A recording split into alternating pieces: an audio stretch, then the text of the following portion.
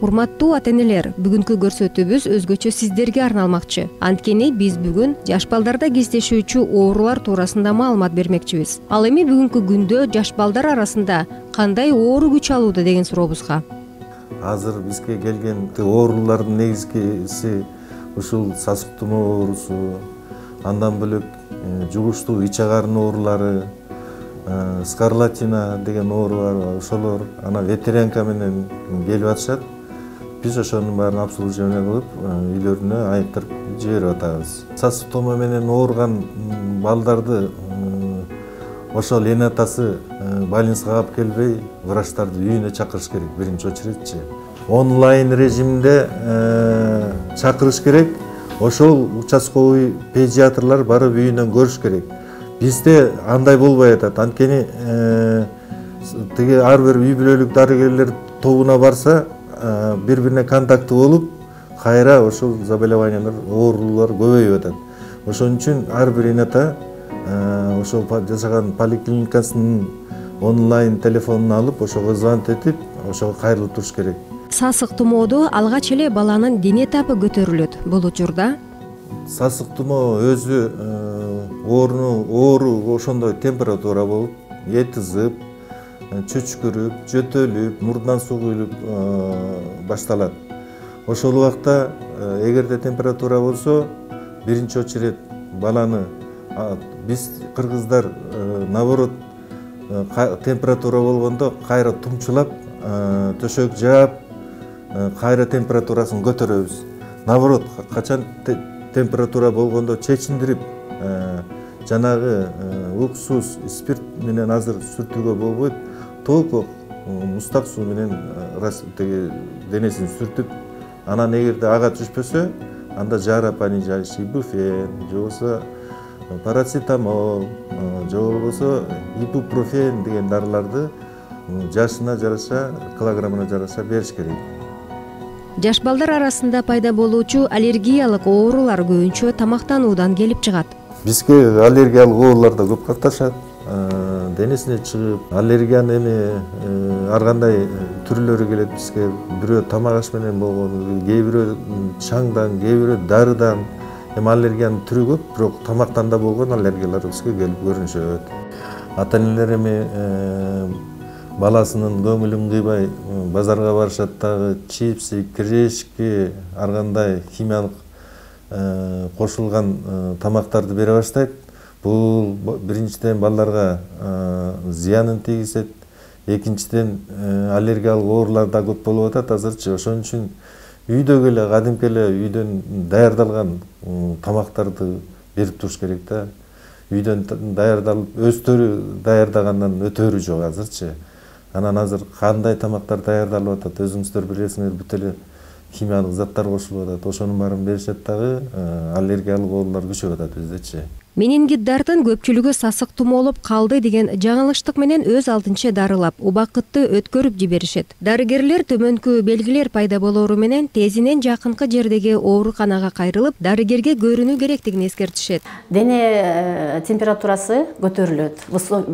Эң высокий цифра отуз тогуз кырк болуп көтөрүлөт. Э, баланын башы аябай катуу ооруйт катуу ооруйт э, бала кусат жүрөгү айланбай туруп кусат и кускан э, балага э, облегчение бербейт облегчение бербейт. Не приносящее рвота не приносящее облегчение.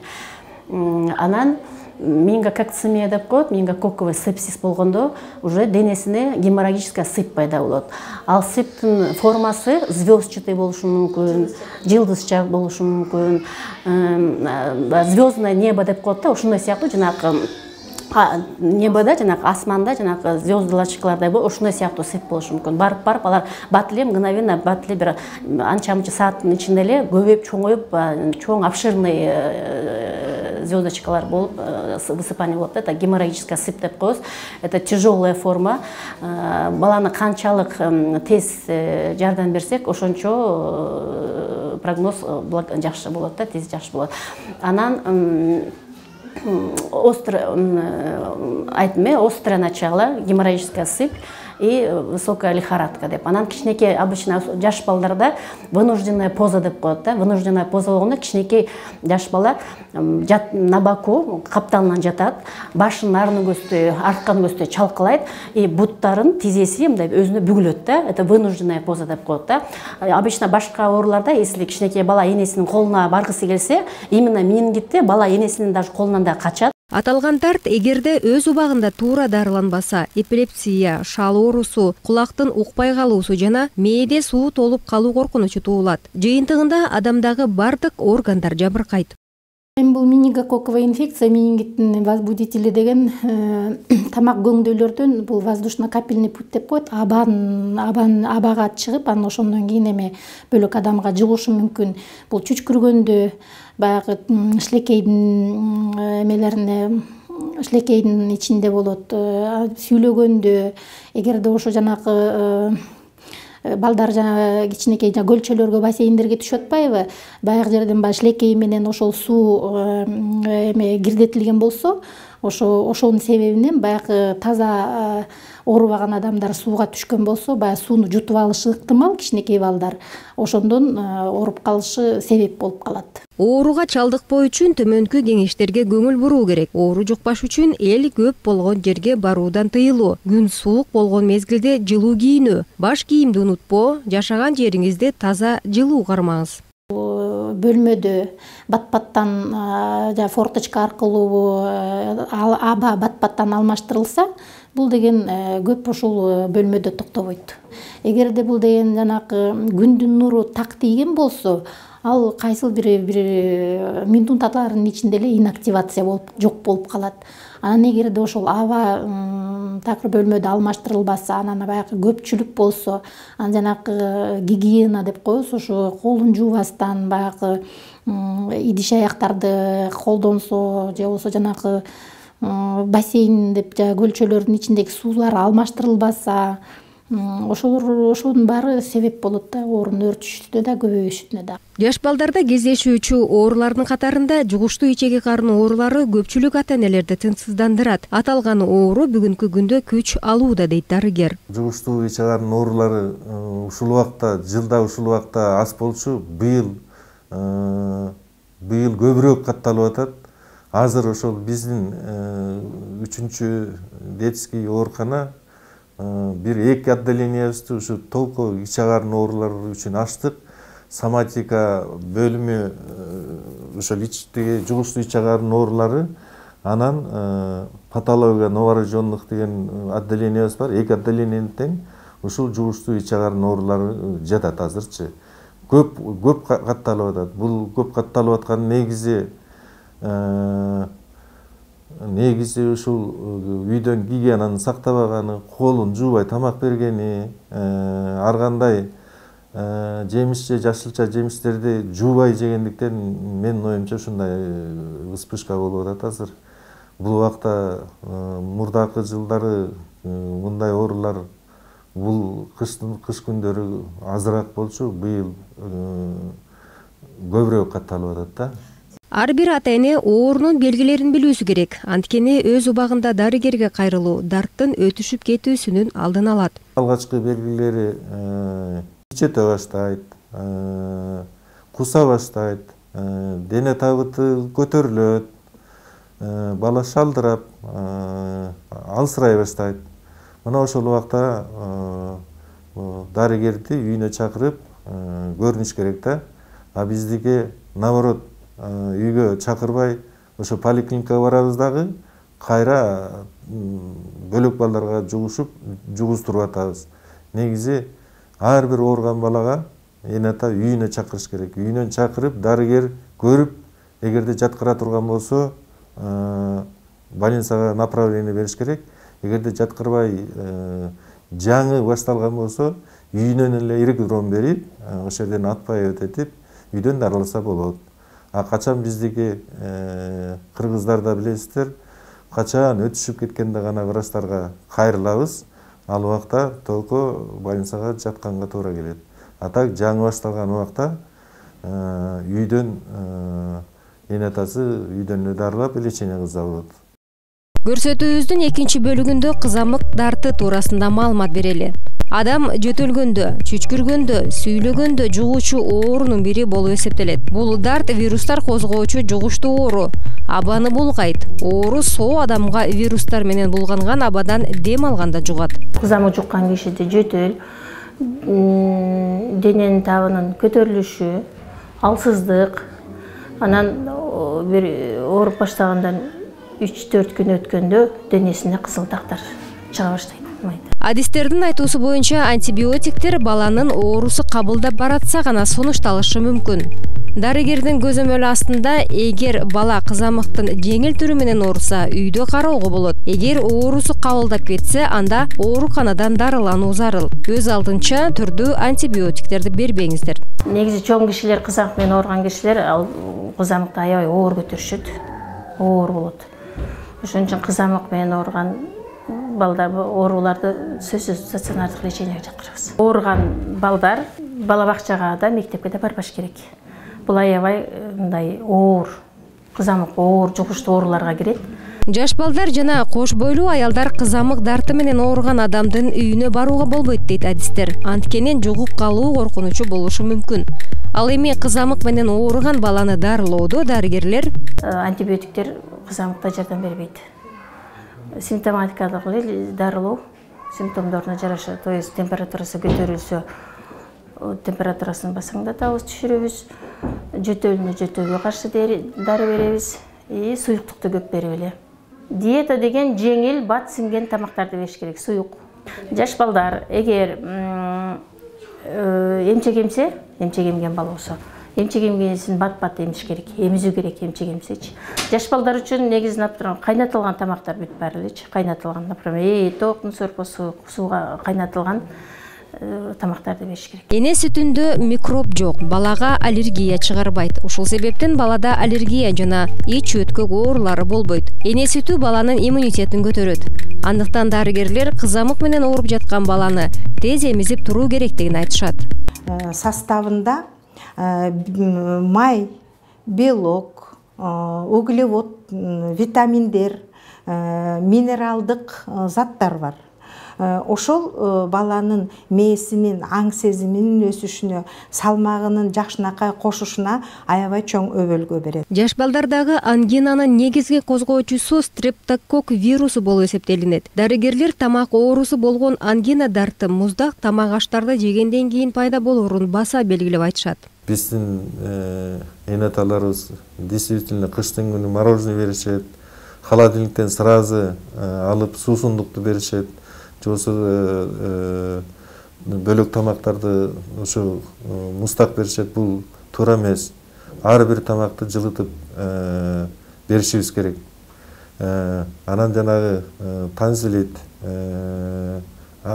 танзилит оорусу ангина оорусу ушул муздактыктан болот да.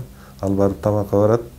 Э, тамакта э, лимфатический желези андан бөлөк миндалиналар чувствительный болот алар муздаккачы алар барат дагы ошол жердеги тиги муздак аба барып тийгенде ал тиги э, иммунитети азая баштайт дагы инфекциялык оорулар жуга баштайт. Ошон үчүн Э, баарлык тамакты э, комнатный температурадан өйдөрөөк кылып туруп берип туруш керек да.